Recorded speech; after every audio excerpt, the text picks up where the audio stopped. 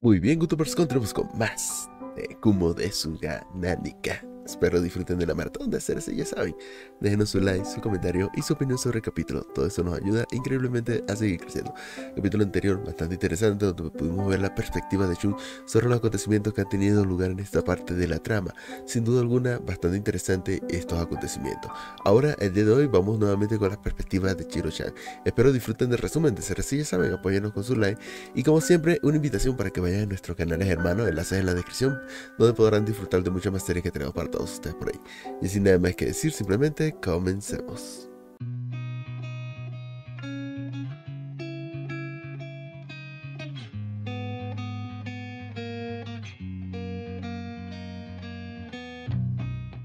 Volumen 14. Capítulo 2. El mundo es tan feo, parte 1. Yamada Kun tiene mal aspecto, pero avanza con paso firme. Como era de esperar de un hombre con protección divina, Yamada Kun aparece en un momento desagradable para mí, pero en un buen momento para él. Naiba, la historia se vuelve a complicar. Ha pasado mucho tiempo, ¿no? Bakaba-san. Yamada Kun dijo eso mientras me miraba. ¿Por qué ese sentimiento de duda? Al principio me miraba con desprecio, pero ahora me mira con desconfianza. ¿Hay algo malo en mi cara? ¿Es porque tengo muchas pupilas en mis ojos? Oh, bueno, Está bien, me gustaría escuchar lo que tienes que decir. Tienes ese derecho, ¿no? Llamada negó con la cabeza ligeramente y luego continuó. No sé qué era, pero parecía ser que algo de mí le molestaba. En lo que a mí respecta, he venido aquí y no tengo otra opción. Podría echarlo, pero eso sería un poco más complicado.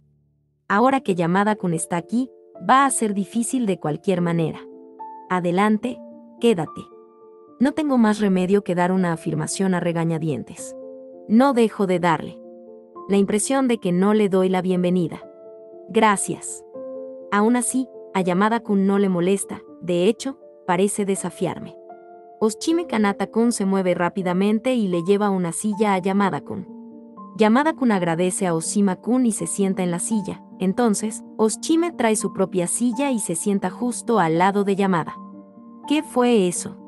¿A qué vino la exhalación de oh de algunas de las chicas que estaban viendo la escena? Llamada con sentado en su silla mira a su alrededor. Sus ojos se detuvieron en algunos lugares y finalmente se volvieron hacia mí. NHH. No hay manera. Décima tropa, aquí. Al recibir mi declaración, varios sujetos de trajes blancos aparecieron frente a mí. La mayoría de los reencarnados se sorprendieron al verlos. Estas figuras de trajes blancos son soldados de la décima tropa del ejército demoníaco dirigido por mí. Entre ellos, a los que eran particularmente reservados se les asignó la tarea de ocultar y velar por los reencarnados presentes. Yamada Kun parece haber dejado de mirarlos después de descubrir que estaban allí. Si miras de cerca, Felmina Chan se destaca en el medio. Ella debería de ser la verdadera comandante adjunto del cuerpo del décimo ejército con títulos. Pero ¿por qué estás haciendo este tipo de tarea? Mientras me lo preguntaba, un rayo azul apareció en la frente de Felmina, como si se hubiese percatado de mis pensamientos. En realidad, yo no podía ver nada de un rayo azul, pero podía sentir esa atmósfera. Es porque estoy dormida. Tengo algunos pensamientos que me distraen. Sí, lo siento, de verdad. Hemos terminado aquí. Descansa hasta que se te indique. Siguiendo mi orden, los de la túnica blanca desaparecieron de la escena sin hacer ruido. Y desde algún lugar, escuché una voz que decía ninja. Sí, para ser sincera, creo que nuestros soldados del décimo ejército son más ninjas que el propio Kusama-kun. Ah, parece que solo Felmina Chan subió al tercer piso mientras el resto de los vestidos de blanco salieron. Así que ahí está Sebeyui, quien fue dormida por el delirio. Alguien tiene que vigilarla, siento que está mal que la ejecutiva Felmina Chan haga eso, pero no diré nada. ¿Qué pasa ahora? Yamada Kun me pregunta con una mirada severa. Soy un soldado del décimo ejército demoníaco. Me enviaron a vigilar y proteger a los reencarnados. Ante mis palabras, los reencarnados empiezan a alterarse. Esto es lo que pasa cuando sabes que has estado cerca de alguien así sin que se note. Las únicas tres personas que se dieron cuenta fueron Sinoara-san, Tegawe, Kan y Kusitani-san. y aunque pensé que la profesora también lo sabía, ella no parecía darse cuenta porque también ponía los ojos en blanco. La élite del ejército demoníaco. No, solo soy un simple soldado. Ah, lo odio, pero mi entrenamiento espartano me hace mucho más fuerte que los demás soldados del ejército, así que podría decirse que soy de élite. Bueno, es como margen de error. Un soldado, un soldado. La tez de Yamada Kun no es buena mirando los movimientos de los guerreros de trajes blancos. Tal vez esté pensando en la diferencia de fuerza. El poder de Yamada Kun, un héroe, no es el mismo que el de esas otras personas. Es fuerte, pero está dentro del ámbito del sentido común no está lejos del antiguo rey demonio y de mí, de hecho, no es rival para la vampiniña y el Onicum presente.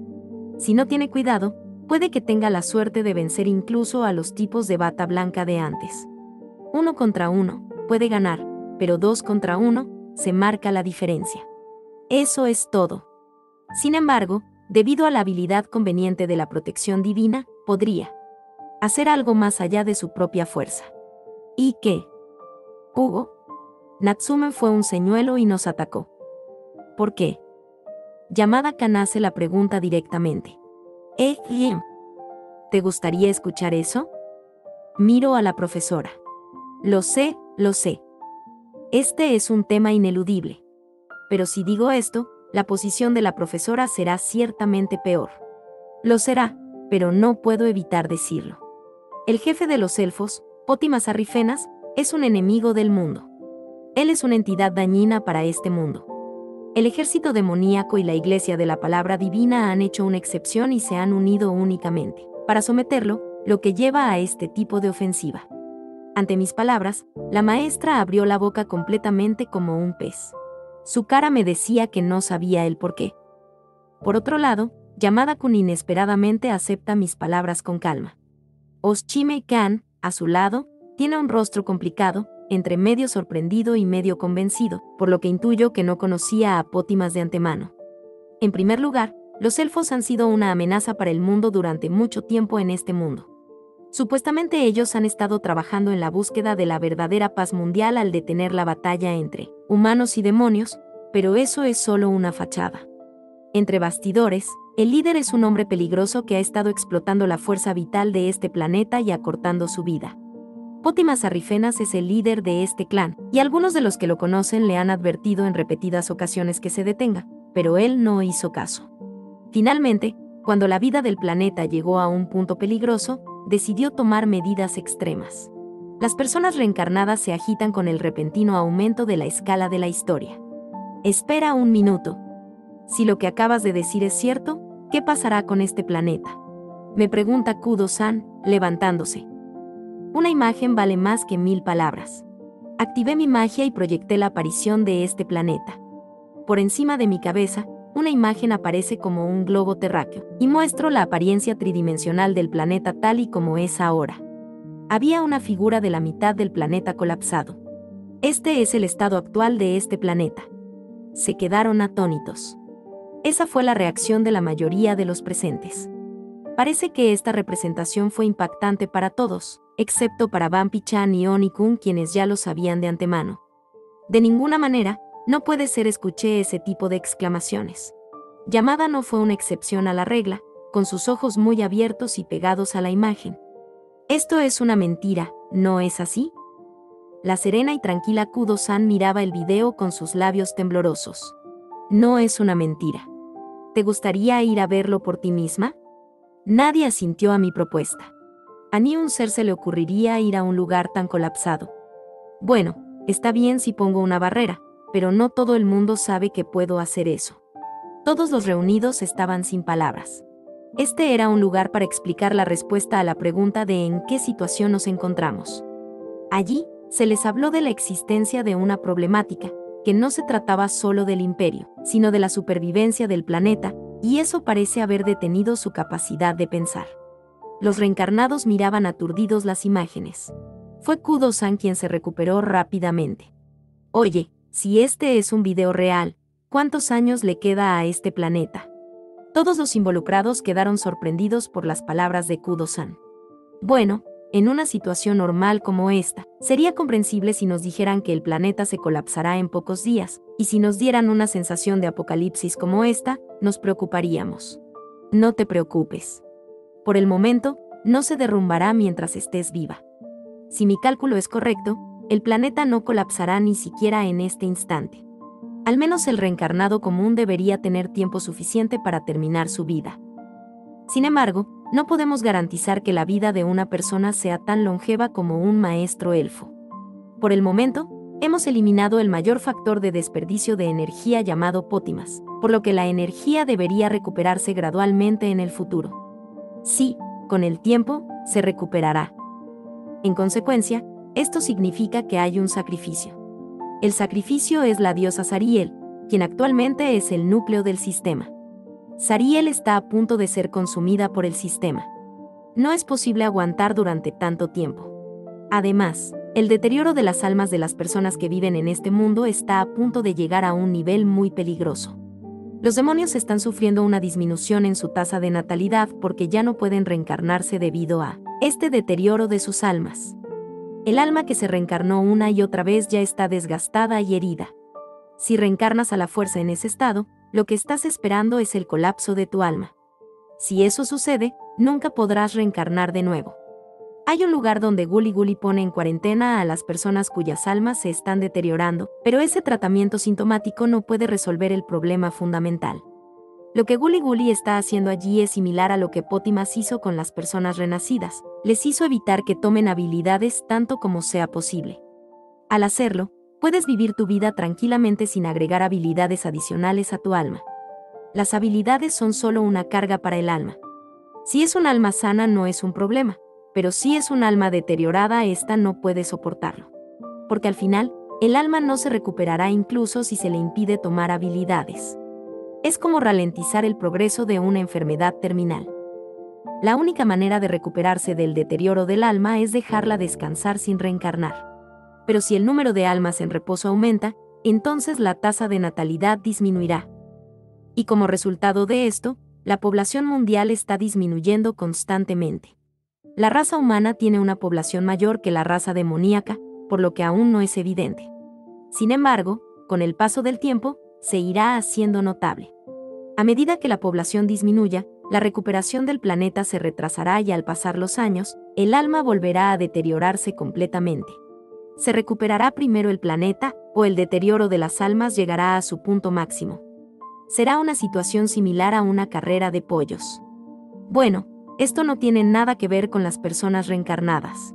Cuando el mundo termine, las personas renacidas volverán al círculo normal de reencarnación en lugar de emerger en este mundo.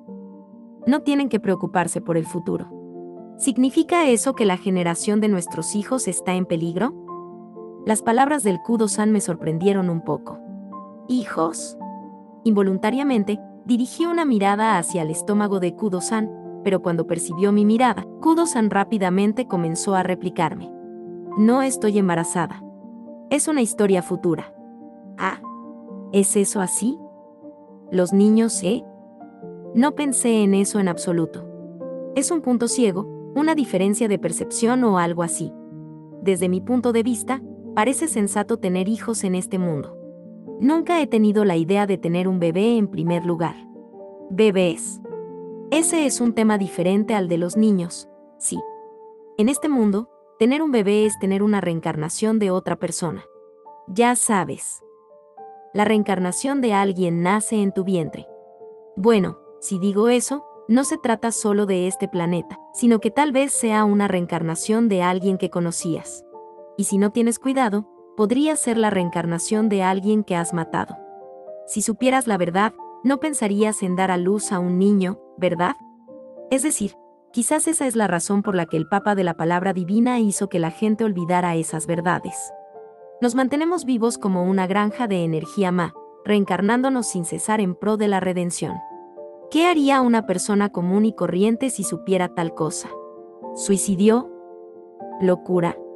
¿Quién sabe? Desde luego, incluso si te suicidas, solo renacerás.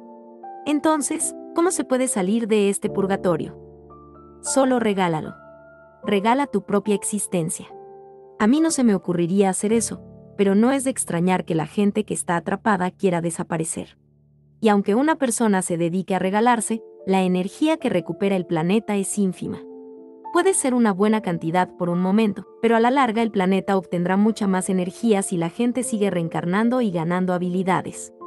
Ok, bastante interesante esta explicación, mas sin embargo todavía queda mucho más que aclarar. Así que no dejen de estar al pendiente de la playlist ya que en breve vamos con la continuación. Si han disfrutado de este resumen y quieren ayudarnos con un like y comentario, pueden hacerlo. ¿Ustedes qué piensan sobre estos acontecimientos? Estaré pendiente de la caja de comentarios para saber su opinión al respecto. Y así nada más que decir, nos vemos en el siguiente resumen. Hasta luego, Gutenberg.